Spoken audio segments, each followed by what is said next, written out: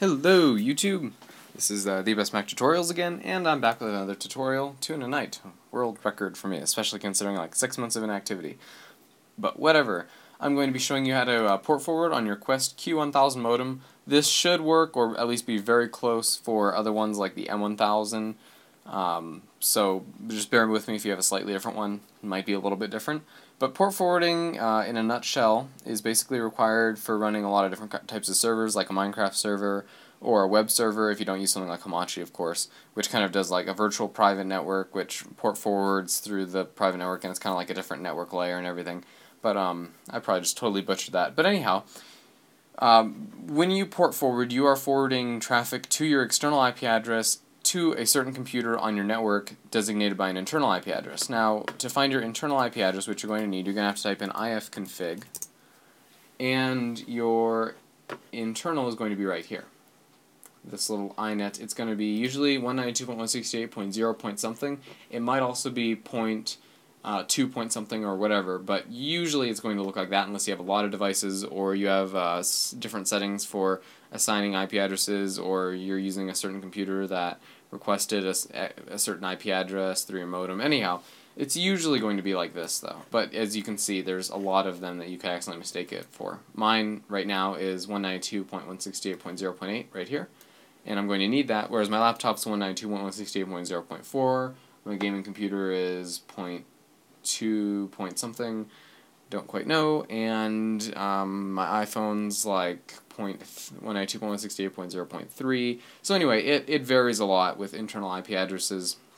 Um, but you got to make sure you get the right IP address because basically the way IP addresses, internal IP addresses work is if, and it's very simplified and dumbed down, and I probably got part of this wrong, but basically when you send a packet or a request or whatever to Google, so I send a packet to Google saying, hey, I want this, then when Google, then my modem sees, alright, 192.168.0.8 sent this packet to Google, and then they get a response on that same kind of chain right there from that from that packet that was sent from 192.168.0.8 and then the modem gets back a response and says alright great. And uh, this is supposed to go to 192.168.0.8 so Google just sees that sending to your external IP address essentially and that's where they send it to. And then the modem knows which computer to send it to based on which packet requested the information that's coming back I suppose.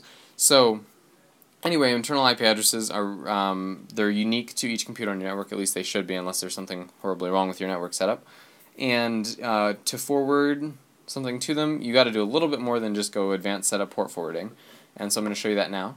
So um, you go to 192.168.0.1 in any web browser, Safari, Internet Explorer, Google Chrome, Opera, Firefox, whatever you use, SeaMonkey. so um, you're just going to type in 192.168.0.1. Don't have to type any HTTP colon slash slash or anything. Just press enter. This page should load. You might have a username and password, and in which case you have to enter that in. It'll do a little in Safari anyway. It'll do a little pop down here, and you'll just go over to Advanced Setup, and you want to go over to UPnP, which stands for Universal Plug and Play. You want it. Oop, what? All right. you want to disable UPnP and disable NAT NAT tran Network Address Translation. Um, hyphen T, and UPnP, Universal Plug and Play. You want to disable both of those. Those will mess with your port forwarding. You don't want to mess with your port forwarding like that, um, or else it won't work, usually. So anyway, you'll go back to port forwarding now that you have it disabled. I already had it disabled because I run a Minecraft server and everything, but you'll want to make sure you specifically disable that. Say I wanted to forward port 25565 for Minecraft server. I just deleted my entry here so I could show you guys. And currently I'm running my Minecraft server on a dedicated host anyhow, so that's a whole different story. But um, I used to run on this computer, and I'm probably going to come go back to it. A lot easier to manage, and the price isn't exactly optimal. 80 bucks a month, and it's a really good deal. I get 16 gigabytes of RAM, Intel Core i5. It's on 100 megabits per second dedicated line. It's a great deal, but it's it's still pretty expensive for a little Minecraft server with you know three people on at its peak in the last couple days. Used to have a lot more, but updates to 1.2.3, and I haven't updated the server yet because Bukkit doesn't. Anyhow, starting port. I get on tangents. For a Minecraft server, you'll need TCP and UDP. TCP works with um, is more of a guaranteed packet delivery system, and UDP works more on like datagrams and whatnot. Uh, maybe in the future I'll do a Java tutorial on networking. I'm still learning that myself, so bear with me if I do do a tutorial on that at some point. It'll probably be very um, uh, basic, but uh, it'll get the job done. But anyhow, um, you want TCP and UDP for your Minecraft server. So say you want 25565. So you want to forward that port to your LAN IP address 192.168.0.8 and out here 25565, 25565 and click apply and saving this. And then uh, you gotta wait for it to finish saving here, and then do the exact same to 5565 UDP this time, and 192.168.0.8, and starting port 25565 25565, and apply. Oop, click apply. Enter doesn't work for that apparently. And uh, once it forwards your ports, you can double check it with um, uh. If if they can't see you on the specified port, then you need to figure out if something else is blocking it. You can also do a similar thing through application forwarding. I prefer doing it through port forwarding personally, but some people do it through applications forwarding. They set up an application set up for Minecraft server or whatnot. I prefer to do it this way. That's just me. And so Safari takes forever to load, and it's probably going to crash. I don't know why this computer is all of a sudden so slow. I will figure that out eventually.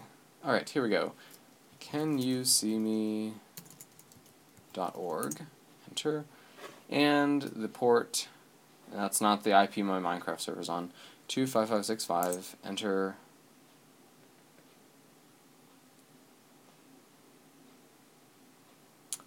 And we're waiting and it could not see me on port 25565. Let's try one of the others that I have forwarded. For example, um, 7777.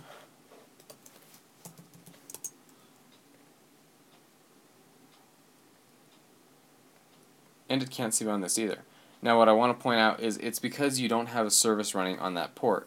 If I start my Minecraft server up on port 25565, then it has a service bound to that port and it can run. All right.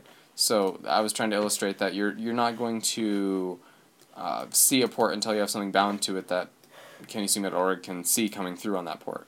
So uh, here I have my um, Minecraft server running on 25565, and so just wait for it to load a little bit more, and now it should be able to see me on 25565. I'm just going to wait till it finishes booting. Speaking of which, I uh, tried to update to 1.2.3, like I was saying earlier, and um, I had some issues with residents not working, and so I'm just kind of waiting a little bit more until a release candidate comes out instead of a beta. Anyhow, that should be enough. Let's check. Might not. Let's see though. Yep, and it loaded.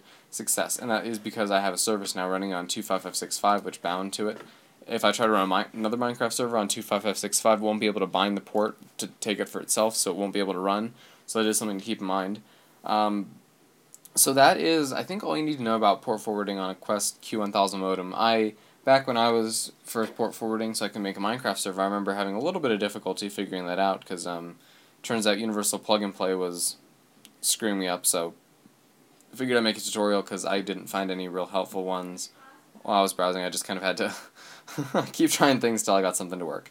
So anyhow, um, there you go. If you have any questions, feel free to ask in the comments or send a YouTube message or whatever. And remember, you have to bind a service to that port, which I like just illustrate it doesn't work if you don't have that service bound, so you can externally see that port is open. Thank you for watching, and I will see you next time.